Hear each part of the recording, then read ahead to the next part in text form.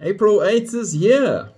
And it's really weird that a magnitude 4.8 earthquake would hit America's largest metropolitan area days before this eclipse. It's reported this was the largest earthquake in New York City since 1884, people. That just probably a big coincidence. It is actually a very rare occurrence. It turns out the war between Israel and Hamas was being discussed at the UN at the exact moment the earthquake hit.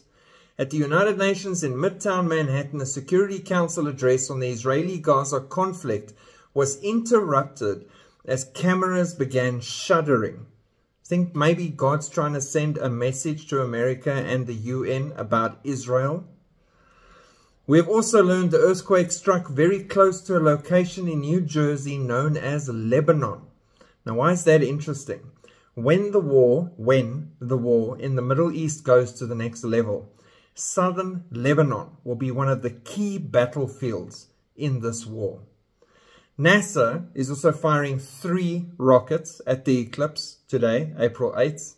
CERN has restarted the LHC and they're doing tests for portals and gateways and who knows what else, even though they've got some weird phantom thing messing with their results, which is interesting and ties into their pre-programmed uh, three-body problem thing that they posted as well on Netflix.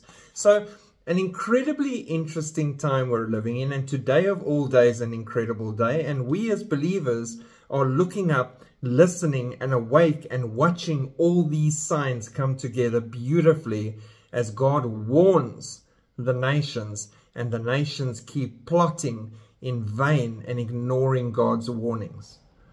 Keep looking up, keep praying, and keep spreading the gospel. Shalom.